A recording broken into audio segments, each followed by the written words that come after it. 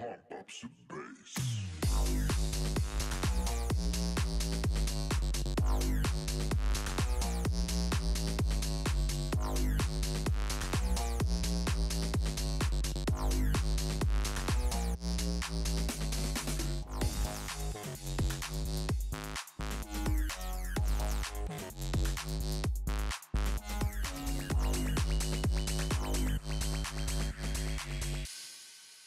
Pessoal, boa noite. Ah, eu sou o Rodrigo. Ah, eu queria primeiro agradecer ao Vladimir por ter me convidado para estar fazendo a palestra aqui para vocês, inclusive o pessoal do Cripto Real que me cedeu espaço para falar sobre o sistema de Masternode e governança, ah, que claro começou ah, inicialmente no Dash Dinheiro Digital.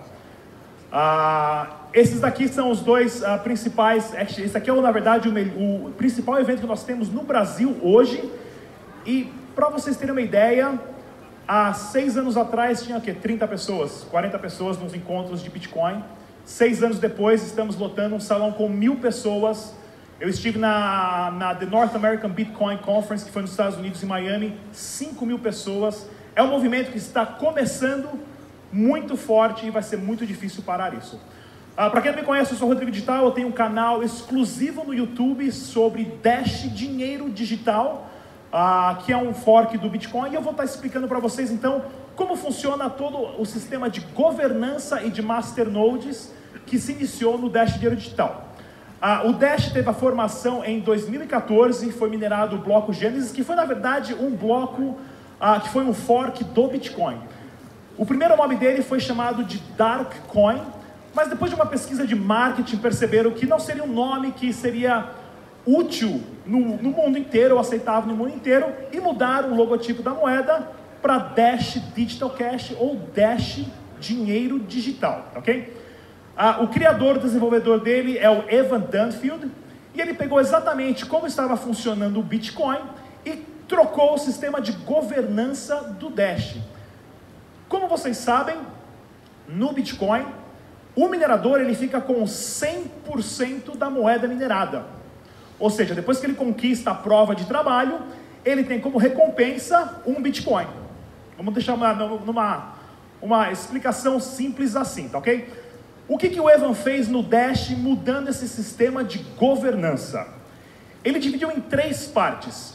45% da nova moeda minerada vai para os mineradores, 45% do valor da nova moeda minerada vai para uma rede chamada Masternode, que é como se fosse uma camada acima ah, do blockchain, porém é tudo isso integrado no mesmo blockchain, tá ok? Mas só para a gente imaginar, nós temos os mineradores, os masternodes e 10% da nova moeda minerada vai para a tesouraria, onde esse dinheiro é reinvestido na própria, no próprio sistema de governança e ecossistema da moeda, tá ok? Então vamos dar uma, uma olhadinha aqui na como funciona a mineração do Dash. Ele usa um algoritmo chamado X11 e o que o Evan desenvolveu é um chamado, o sistema chamado Dark Gravity Wave, que é um algoritmo exclusivo para se minerar Dash. Comparando aqui com o Crypto Real, que é um fork ah, do, do, do Dash, né? eles copiaram o modelo, como outras moedas. Ah, acho que está tá muito grande ali.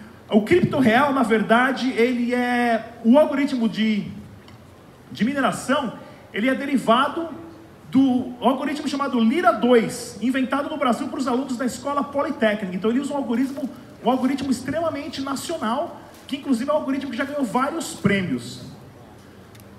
Uma das funções principais do, do minerador no Dash Dinheiro Digital, ou nesse sistema que você possui de masternode, mineradores e tesouraria, o, minerador ele é responsável pela prova de trabalho, construção dos blocos e criptografar os blocos, tá ok? Vamos para a próxima etapa ali, que é a parte dos masternodes. O que, que é o, o que, que é o masternode? Qual é a função principal do masternode? O masternode é um servidor em uma rede descentralizada. Ele é utilizado para concluir funções exclusivas de maneiras que os nodes comuns não conseguem. E ele pode ser usado para recursos como envio direto, transações instantâneas e transações privadas. Para ser um masternode dentro da rede, você não precisa de energia em larga escala e você também não precisa de uma CPU ou GPU moderna.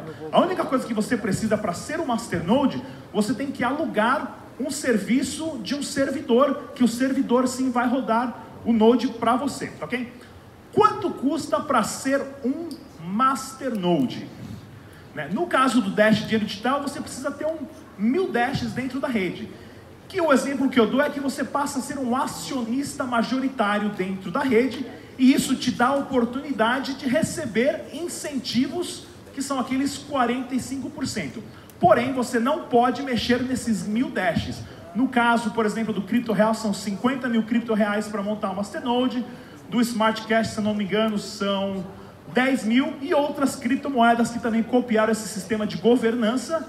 A, a cada uma tem o seu sistema diferente ali, tá ok?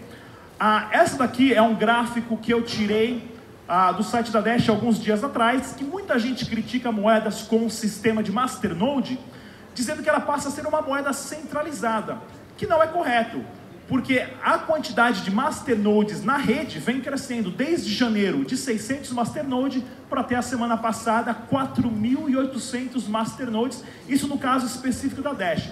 Ou seja, não tem como a rede ser centralizada se a quantidade de nodes participando nela está aumentando. Se tivesse diminuindo e hoje você começa, você começou anos atrás com 500 e hoje você tem 5, aí sim seria uma rede descentralizada. É centralizada. Porém, mais pessoas hoje estão entendendo que você possuir um masternode é um excelente ah, investimento para você. Eu vou explicar para vocês o porquê. Os masternodes, eles protegem o blockchain dos ataques na rede na mesma linha que a prova tradicional dos algoritmos do Proof of Stake. Isso devido ao alto valor do Dash que ajuda a manter a rede descentralizada, já que seria preciso uma quantidade de dinheiro muito grande para comprar Dash suficiente para ter o monopólio dos seus nodes. Ou seja, para você centralizar uma rede, você teria que ter mil Dashes para comprar masternodes o suficiente para ter 51% de controle da rede para assim talvez tentar um ataque, que é muito dinheiro envolvido e é praticamente ah, impossível, tá ok? Ah, ah, ah, como é que eu falo aqui? Ah, vantagens de você ter um masternode, tá ok? Que as pessoas têm que entender que passa a ser ah, um, investi um investimento excelente. As chaves privadas das suas criptomoedas estão sempre com você. Você não precisa mandar as suas criptomoedas para lugar nenhum. Você não manda para um site ou para uma agência ou para alguém. Você só precisa reenviar as criptomoedas para o seu próprio endereço e a partir daí o servidor vai ler a sua carteira, ou seja, você está sempre com o controle total das suas criptomoedas a partir das chaves privadas. Você tem a opção de privacidade durante as suas transações, Claro, usando a, a parte do envio privado, ninguém, a partir do momento que você envia essas transações de volta para você mesmo com o envio privado, ninguém nunca vai saber que essas moedas, que esse masternode é seu. Você pode entender o sistema de, de masternode como uma renda passiva, como se fosse numa poupança. Você deposita uma certa quantidade de dinheiro e o banco te paga ali os dividendos, os juros mensais. No masternode funciona com a mesma concepção. Você tem que ter uma quantidade suficiente de criptomoedas dentro de uma carteira, fazendo parte da rede, para aí sim a, a, você poder receber os dividendos ou os 45% que os masternodes recebem a partir de estarem colaborando com as transações. E é claro, você tem uma valorização dupla. Através da valorização da moeda, tá ok? Claro, quando o mercado sobe, todas as suas mil moedas dentro do seu Masternode também sobe. E claro, você tem também a recompensa mensal do Masternode, que no caso do Dash hoje está variando entre 6 e 7 Dashes por mês. O Dash está oscilando por cerca de 500 dólares por unidade. Qual que é o principal função, qual que é o principal trabalho do Masternode? Ele vai ser o responsável por estar validando as transações privadas e validando as transações instantâneas. Enquanto no Bitcoin o minerador está fazendo tudo isso, no Dash o minerador está ou nos sistemas de Masternode, está criando os blocos, porém a camada acima está somente validando as transações. Isso possibilita que a velocidade de confirmação seja muito, mas muito mais rápida. No caso do Dash, você consegue confirmar uma transação de 1, 100 ou 1000 Dashes em questões de 1 a 2 segundos, pagando taxas de centavos. Né? Isso é o objetivo principal, nesse caso, de uma moeda com Masternode, de ser o dinheiro digital para microtransações durante o dia a dia. E é claro, a principal função do Masternode é você ter a responsabilidade do voto, aonde é possível atingir o consenso muito mais rápido. Enquanto no Bitcoin existe uma guerra literalmente entre duas comunidades do Bitcoin para aumentar o tamanho do bloco e não aumentar, no caso do Dash, houve essa questão, foi criado uma proposta jogado para os masternodes perguntando: devemos aumentar o tamanho do bloco, sim ou não? Em menos de 24 horas, toda a rede entrou em um consenso e votou sim, vamos aumentar o tamanho do bloco e foi resolvido. E no caso do Bitcoin, nós temos essa batalha aí já a, se prolongando há quatro anos. Então, o poder de voto do Masternode dentro da organização é muito importante. Eu coloquei essa foto aqui do, que na verdade está até gostoso esse Big Mac aqui. Ah, para mostrar para vocês, muitas pessoas às vezes criticam o Dash ah, ou moedas com Masternode, dizendo: ah, mas é muito caro para mim ter o Masternode. Sim, claro, hoje o valor do Masternode está caro, 500 dólares por moeda. Mil moedas, está quase 500 mil ah, dólares, cerca de 1 milhão e 800 de reais. É muito caro. Porém, a maioria dos Masternodes né, vieram já investindo há tempo. No caso que eu quero usar como exemplo aqui para vocês, você, por exemplo, pode ir comprar um sanduíche, um Big Mac, e o Big Mac é seu, você faz dele o que você quiser. Você pode comer, dar para alguém, como no caso de uma criptomoeda do Dash com o Masternode. Você pode comprar uma, duas moedas, usa ela como bem entender, você não precisa ser o Masternode. Porém, o fato de você ter comprado um sanduíche no McDonald's não te dá o direito de ter uma voz ativa dentro da corporação né, para decidir os rumos da empresa como também do Dash. A partir do momento que você faz investimento, por exemplo, de 100 milhões de dólares em ações do McDonald's, aí sim você passa a ter uma voz ativa, você é um acionista majoritário e o seu poder de voto influencia nas decisões da corporação. Tá? Esse é um exemplo que eu gosto de dar aqui uh, eh, para o pessoal. Porém, existe também a opção dos masternodes compartilhados. Ou seja, você não tem mil dashes, que é um valor super alto, você pode juntar um grupo de 10 pessoas, cada uma com 100 a, a criptomoedas, monta um masternode, é claro, vocês têm um masternode compartilhado e a divisão de lucro é devido à porcentagem a, que vocês investiram. Inclusive tem vários sites que fazem isso tudo automático.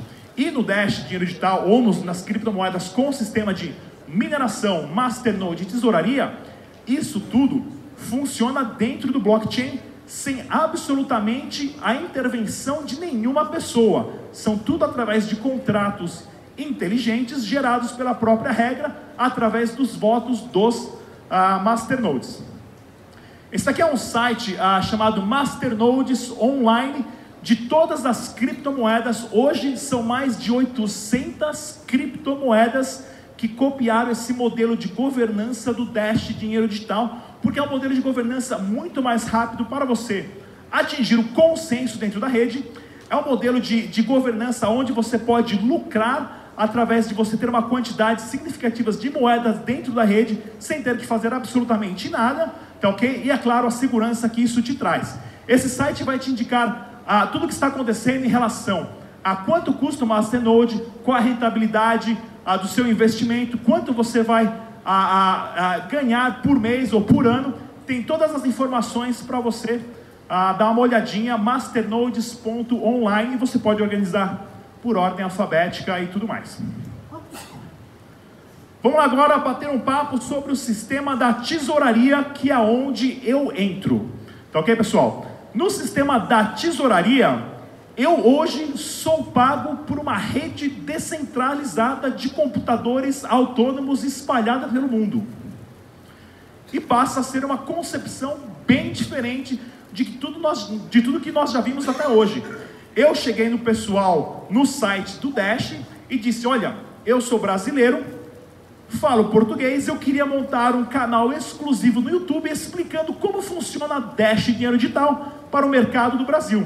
Joguei a minha proposta para votação, a rede inteira leu a minha proposta e votaram sim ou não devemos investir nesse camarada porque ele vai trazer um benefício a mais para a rede. Foi assim que eu consegui ah, o patrocínio do Dash Dinheiro Digital. Claro, como funciona isso nesses sistemas de Masternode? Você tem que fazer parte da comunidade, fazer parte dos fóruns. Ah, ah, muitas pessoas querem saber quem você é através de Facebook, de LinkedIn, de Twitter. Houve vários casos de pessoas que pegaram fundos da tesouraria e desapareceram. Como nós controlamos isso? Então passa a ser um problema que a própria rede hoje está tentando resolver. Como? Eu não tenho um chefe. Eu posso receber os fundos do Dash e simplesmente não fazer vídeo nenhum. Quem vai vir cobrar de mim isso? Né? Então é uma, é, uma, é uma ideia bem interessante do sistema. Nesse site, no dashcentral.org, é onde você apresenta a sua proposta que vai para a votação dos masternodes. Porém, existe também as áreas dentro desses fóruns de pré-proposta, aonde você põe a sua ideia ali e a própria rede vai te ajudar a montar a sua proposta. De um jeito falando, olha, isso já funcionou em tal proposta, olha, isso talvez não funcione, talvez você tenha que mudar isso e aquilo, e a própria rede vai te ajudar a construir uma proposta é, bem sucedida para você receber os fundos.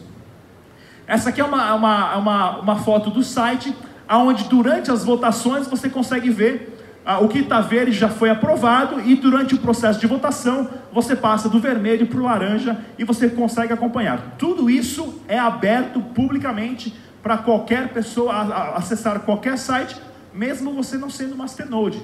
Ou seja, qualquer pessoa pode ter acesso e esse é o objetivo do open source, né? do código aberto. Tudo está ah, muito esclarecido dentro desses fóruns. O que o sistema de masternode pode mudar ah, que é interessante são as relações de trabalho, empresa, funcionário, investimentos e jornalismo. Como isso?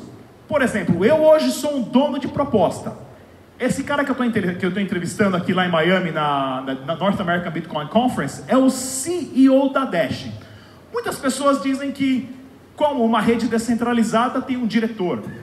Porém, ele não tem controle nenhum sobre a rede ele apresentou uma proposta, como eu, dizendo: eu tenho experiência com finanças, com relações públicas, eu posso gerenciar uma equipe de marketing, uma equipe de eventos, e eu quero ser o CEO, o diretor, eu quero ser o rosto da Dash para promover em canais de televisão, em eventos e tudo mais. A rede aprovou.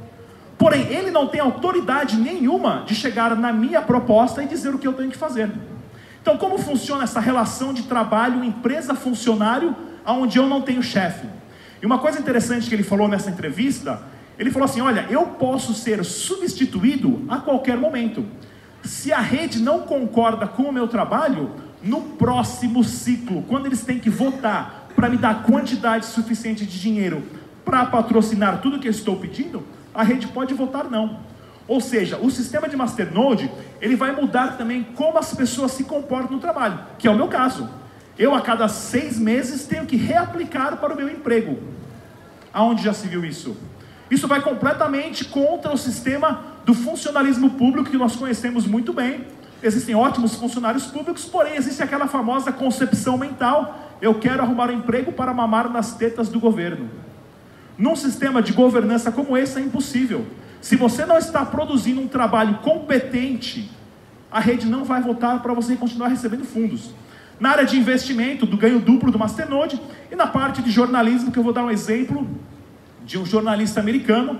Ele fazia uh, um jornalista investigativo, acabou fazendo investigações contra uma empresa, né, reportando uma empresa assim, assim, assim, que essa empresa tinha negócios com a empresa que relacionava ele no canal de televisão dele.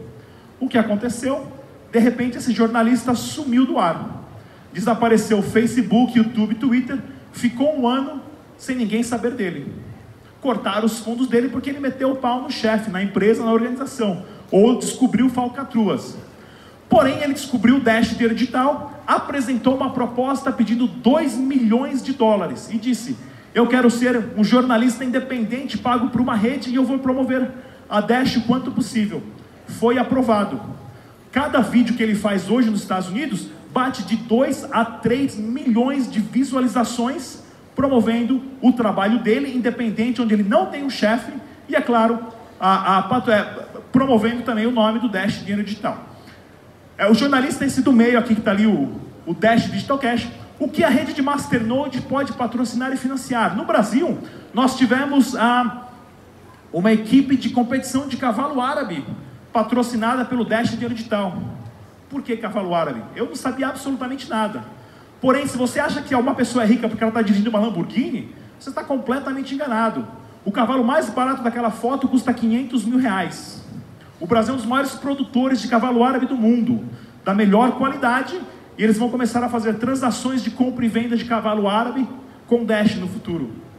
Nós temos um lutador de MMA também patrocinado ah, pelo Dash Dinheiro Digital, que também traz uma adição do valor da marca dentro de um, de um ecossistema novo.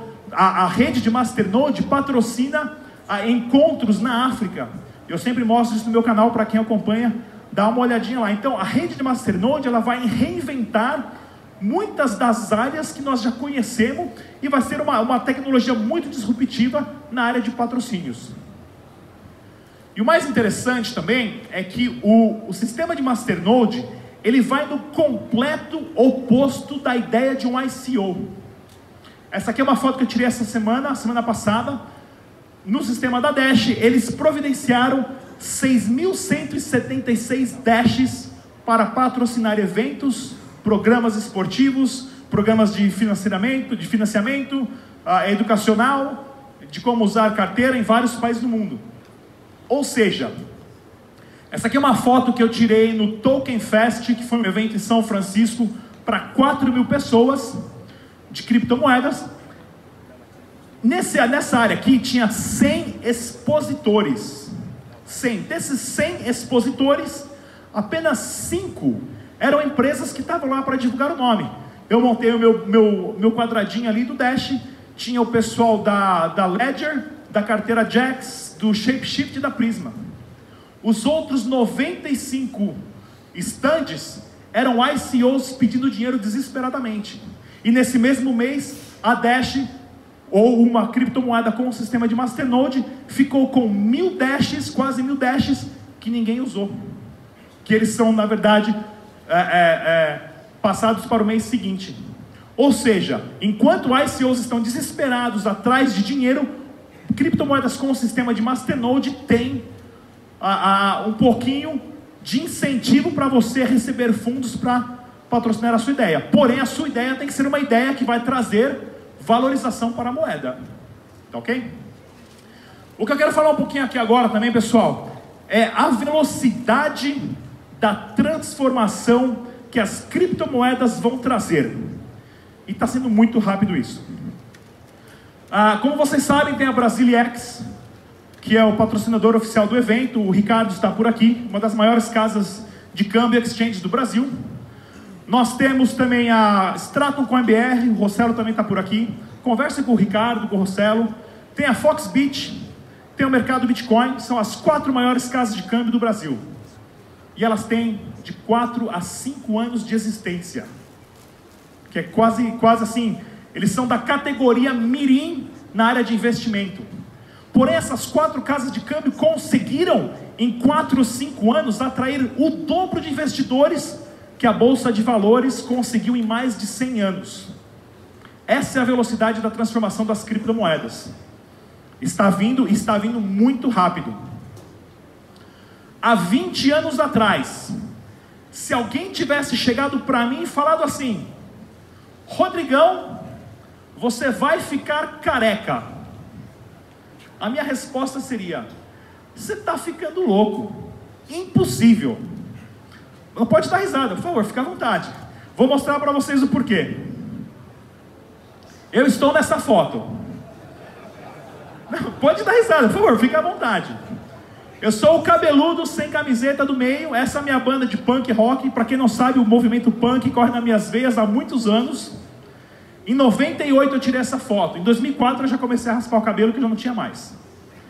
Se há 20 anos atrás alguma pessoa tivesse chegado para mim na mesma época e falado assim: Rodrigão, daqui a 20 anos, você vai conseguir pegar uma câmera fotográfica com flash, uma câmera filmadora VHS, um telefone, um Walkman.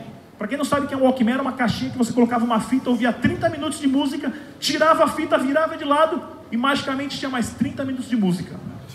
Era mágica. Um GPS, que essa foto do GPS não tem nada a ver com o GPS de 20 anos atrás, eu vacilei. Um scanner, uma televisão, um gravador de voz, um microfone, um alto-falante, um rádio MFM, um videogame, um giroscópio, um termômetro, um acelerômetro e um barômetro. Um medidor de frequências de polo positivo e negativo, a enciclopédia Barça, o guia quatro rodas de estradas, e tudo isso vai estar conectado com, uma, com um poder computacional mais forte do que a NASA tinha quando enviou um homem à Lua. Se alguém há 20 anos tivesse me falado que tudo isso ia caber dentro do meu bolso, eu ia falar, cara, você está ficando louco. Impossível. E tá aí.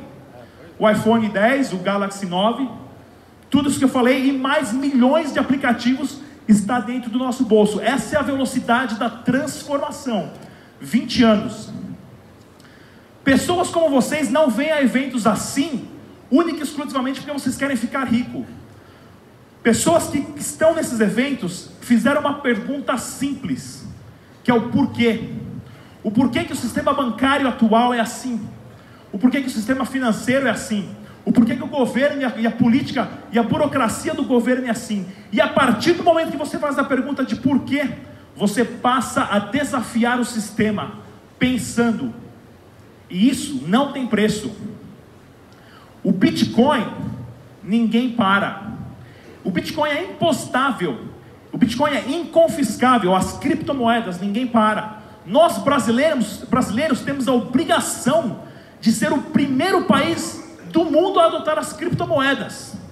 Única e exclusivamente porque quem aqui tem mais de 35 anos sabe.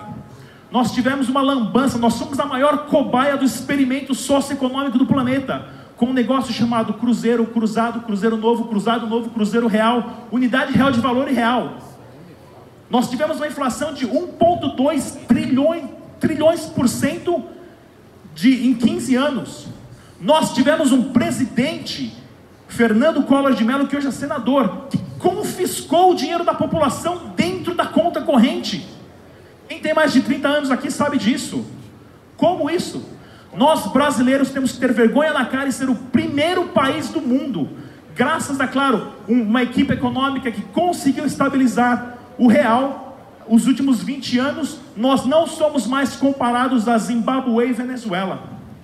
Mas também não estamos muito longe disso não. Tá ok?